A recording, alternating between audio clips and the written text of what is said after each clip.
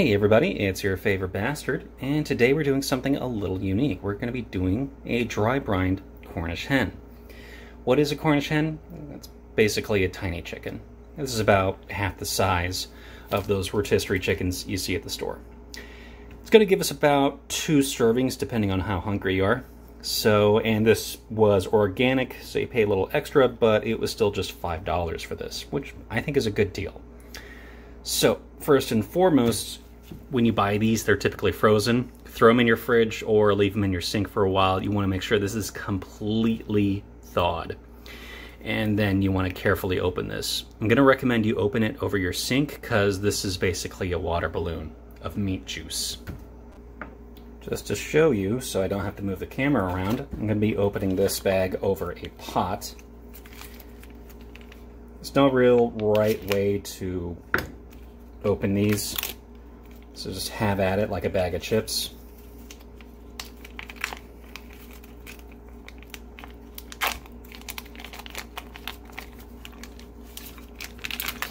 You're probably getting some gross chicken in a can vibes from this, I assure you.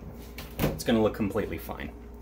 So this actually didn't have all that... Oh, there it goes. So it looks like a lot of it was hiding inside the butthole of the chicken there. Give it a little shake. All right, set the pot aside. Move it over to some paper towel because we've got a lot of moisture to take off this bad boy.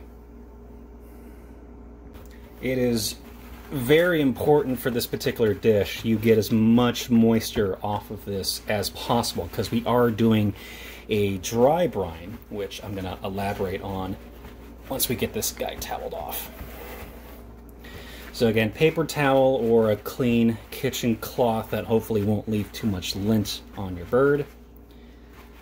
Under the arms there. Legs, excuse me. Looks like we got a broken leg. Not the end of the world.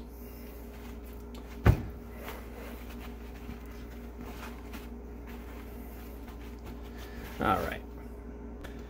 So mostly got it toweled off at this point. We're going to be doing a little more here shortly, because what we are going to do now is spatchcock.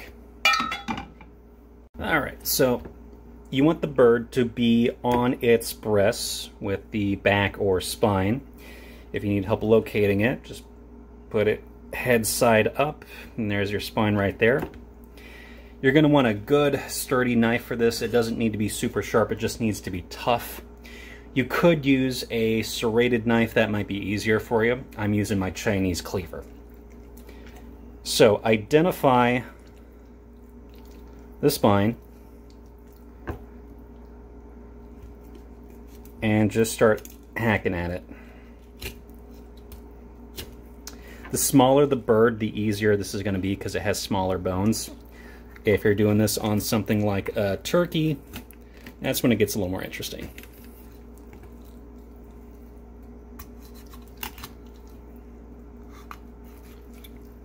This is also why you want this bad boy to be completely thawed. If this was still partially frozen on the inside, this would be horrid. And we got some gristle there that doesn't want to come off. That Chinese cleaver is not particularly sharp. It's just good at crushing bone. All right. So once you got it started, it's pretty darn easy to do the other side. Just grab, good grip. And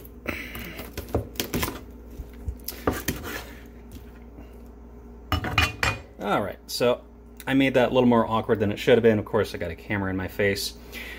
This is the spine. Yeah, kind of gruesome. Anyways, if you're wanting to preserve this, you could throw this in some stock, use it for soup, possibly gravy. But I don't have a use for that right now, so you can just chuck it. Alright, final step of the spatchcocking process. You can put your knife away. Lay it backside down on your cutting board or surface. You want to press it completely flat. You might hear some cracking. That's a good sound. You're essentially just kind of breaking the bone so this thing lies flat. So now you have spatchcocked. What this has done is take a weird three-dimensional object and flattened it. You could just throw this on the grill or it'll bake in your oven much more quickly. And that's kind of the advantage of spatchcocking. Now will lay flat. You could cook it like a chicken breast, pork chops, or a steak. You want to be an absolute mad lad about getting any of this excess moisture off. You might be going through a lot of paper towels with this, and that's to be expected. All right, and before you get yourself all worked up, just being insane about getting every little piece of moisture off this guy, it doesn't need to be perfectly bone dry. There's going to be moisture from within the meat itself that sort of leaks its way out. Just do the best you can with what you got. Okay, so you got your bird dried well enough. Get yourself a vessel and pour a bunch of salt in it. And I mean a lot of salt.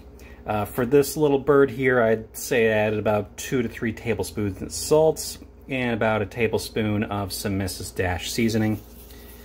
The seasoning you add here isn't going to be terribly important because what will happen is we're going to be dumping a bunch of salt on this bird. That's going to pull the moisture out. It's going to dry out everything. And then we're going to leave it in our fridge overnight or even longer if need be and then we're going to wash it all off. You're not going to be getting much flavor added with this stuff because, again, it's going to be washed off because eating horribly salty chicken is not fun. So, start applying this salt to your chicken. We are going to work it in with our hands.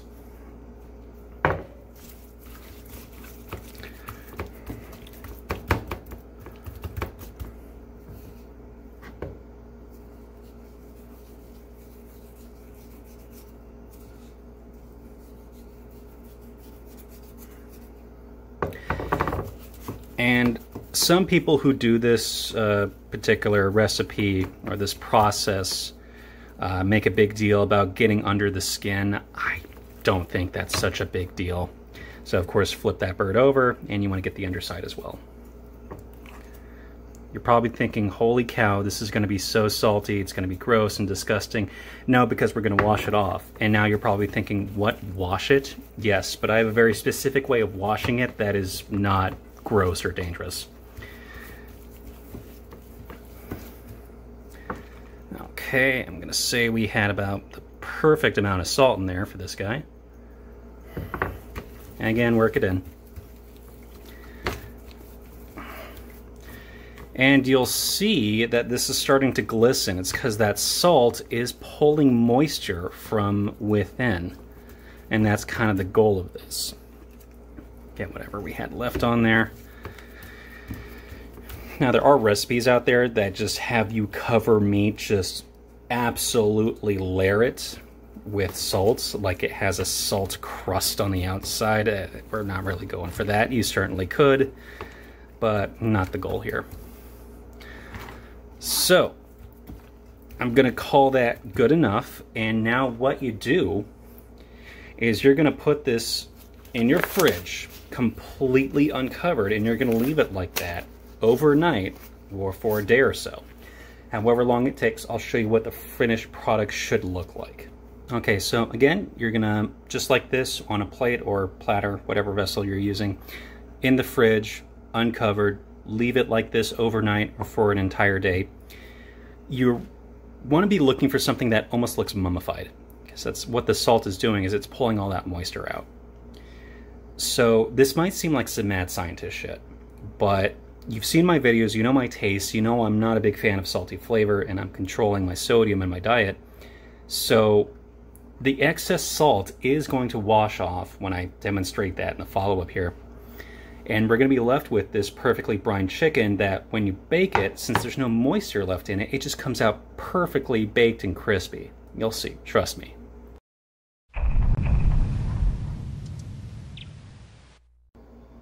All right, day two. As you can see here, the meat looks significantly different than it did yesterday. And this is kind of the goal. This is the look you're looking for. Uh, so this meat has darkened. We've pulled the moisture out of the skin and meat, so that skin is kind of pressed a little more firmly against the meat now. It's almost like it's slightly mummified, and that's kind of the idea behind the salt. So this was a little weird. Uh, this morning, I came to check on it, and there was actually a puddle of water in the plate itself. That's why there's a paper towel here. I don't know what went wrong there. Maybe I should have toweled it off more. Uh, maybe there was still some ice on it left over from when I pulled it from the freezer. Hard to say, but added a little more salts, dabbed it with a little more paper towel. So it may look better when you do it. It may look better than what I have here, but regardless, what we have right now is going to be perfectly fine. One more thing I wanted to go over. You do not need to only give it a day in the fridge as long as your fridge is not nasty, you can leave this in for multiple days to dry it out further. Because you are covering it in salt and you're pulling the moisture out of it, that's going to inhibit any kind of rot or spoilage. So this is also a preservation technique. All right, so now the tricky, delicate process of getting all that salt off of our bird.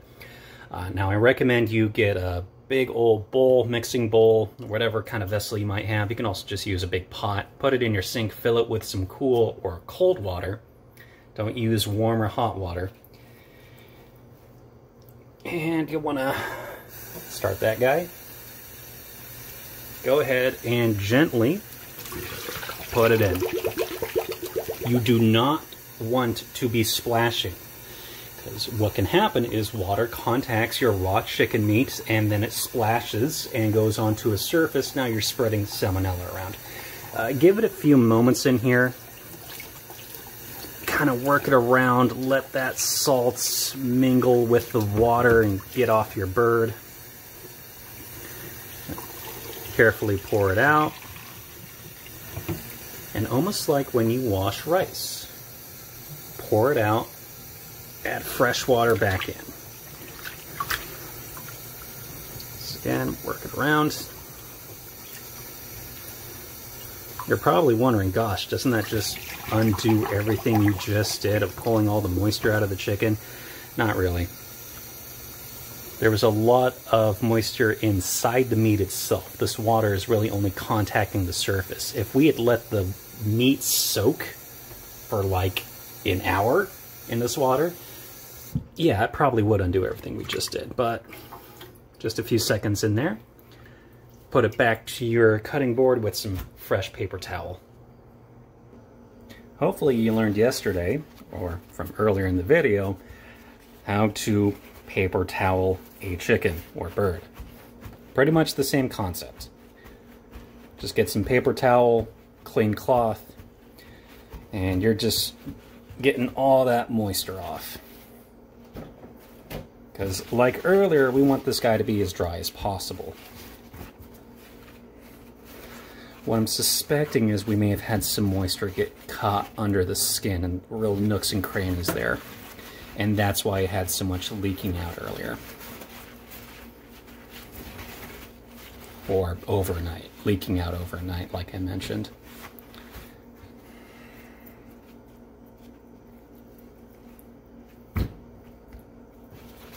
Okay, I'm going to call that sufficient. As you can see, we still got that really lovely hue or color on the meat there.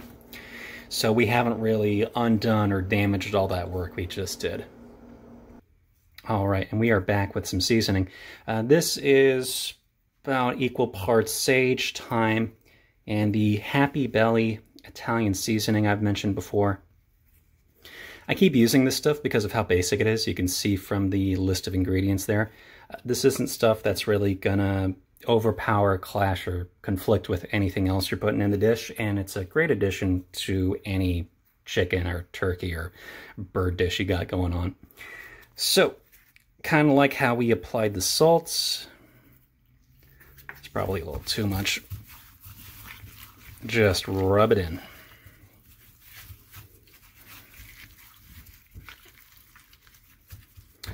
And yeah, I hear that gurgling noise. Sounds like we got a little more moisture still stuck in there somewhere, but I'm not going to lose my mind hunting for it.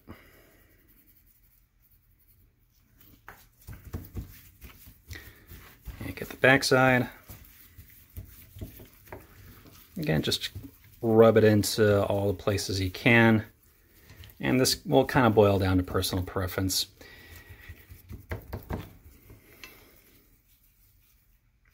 Okay, good enough. These wings in particular are going to be really interesting once this is done. Okay. And go ahead and get under the skin as well. Just for fun. Okay, this bird is ready to roast. One more thing to mention. At this point, because we spatchcocked it, you could just throw it on your grill and it'll fry like any other flat piece of meat, like a steak, pork chop, or chicken breast. But of course, in this case, I'm going to be putting it in the oven, and we're going to be cooking it at a modest 350 degrees. Okay, so when that skin is looking nice and crispy, go ahead and pull it. Give it a poke with your thermapen just to make sure it is cooked all the way through. The nice part about spatchcocking is that you make the piece of meat much more thinner, much more flat, so it usually does cook evenly and all the way through, so you don't have to worry about that as much. Now, looking at this though, first off, that is some beautiful crispy skin, but also, okay, I was a little over enthusiastic with that seasoning rub. It's kind of thick in parts. However, that's just on the skin. Think of it as like a just an over seasoned potato chip like the Dorito that's at the bottom of the bag. And the meat underneath should be fine. Okay, we've given the bird a few minutes to temp. So now we're just going to go ahead and cut into it. This is actually a lot of meat. The camera might be hiding the scale of this. But this is a little more than a single serving for a person. In fact, it's almost exactly two good portions for someone. If you're not such a carnivore, you could divide this up more. But I'm going to say split it right down the center. It's almost marked for you. And since there's no spine on this, butchering this is a little easier. Just cut through and it can be a little tricky because I left the keel bone in.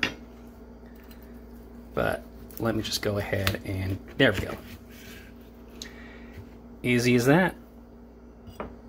Now you have two perfect portions of a nice dry brined hen.